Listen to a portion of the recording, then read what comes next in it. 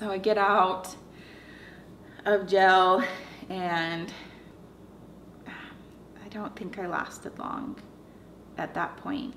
Um, I just didn't understand how to overcome the desire, how to get it to go, you know, because as much as I wanted it, I just, I still had this aching hole inside of me that had to be filled with something. And so, um, I met my son's father. We started dating. We moved in together. We used heroin together. Um,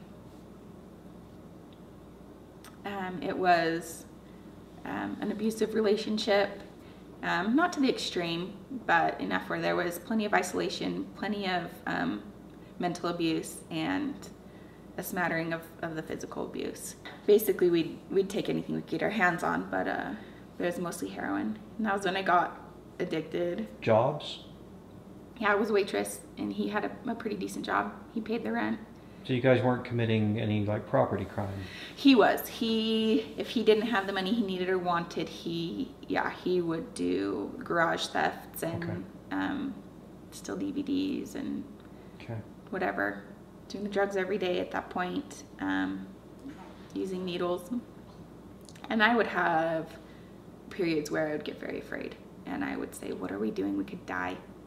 And I, I wanted to get better. And I would talk about how, how are we going to do this? Do we, can, can we go back to rehab? How can I go back to rehab? How, how do I um, get out of this? Um, and then I found out I was pregnant.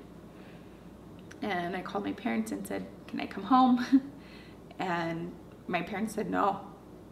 Um, by that point, they had started educating themselves a little bit through my sister's rehab stays and stuff. They'd done family therapy and, and had understood that they were enablers and, and wanted to do something about that.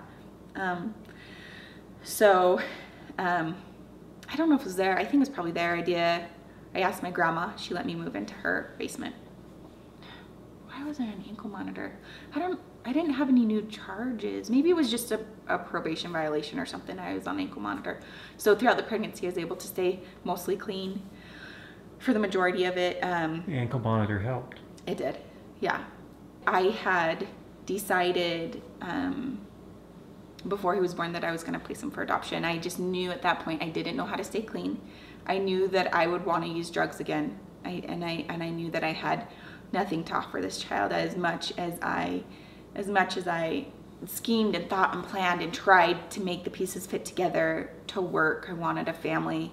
I wanted a family. I wanted the baby. I wanted to be able to have something to offer him. But the more I talked about it, the more I saw I really didn't have a family for this child.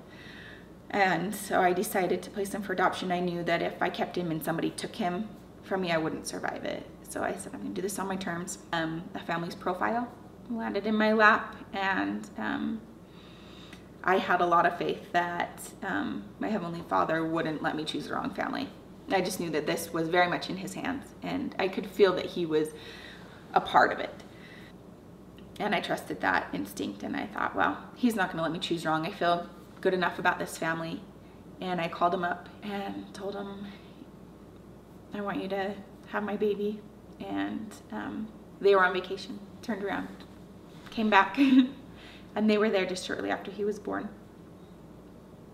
And when I decided to do that, I, I think I kind of just gave up. You know, if I'm not keeping this child, and I know that I don't know how to do this, then then why try? So within a month of placing him, I was back in jail.